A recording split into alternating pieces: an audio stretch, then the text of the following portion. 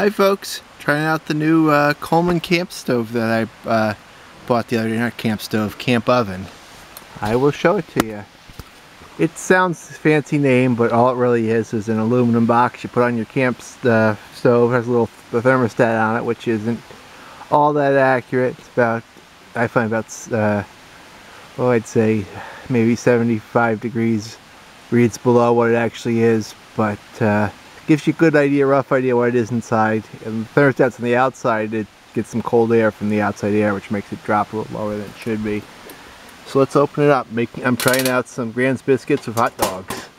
I know it's not fancy, but I want to try something basic that I could play with cooking. And uh, there it is in the oven. It's doing its thing. I actually bought a muffin pan too that I can fit in this little stove and I'll close it up there's all the heat. Uh, you know, it's not automatic like a real oven, but you know something, it's lightweight and uh, I mean it will uh, cook your food nicely. I mean you can bake stuff that you can't really do on a camp stove otherwise.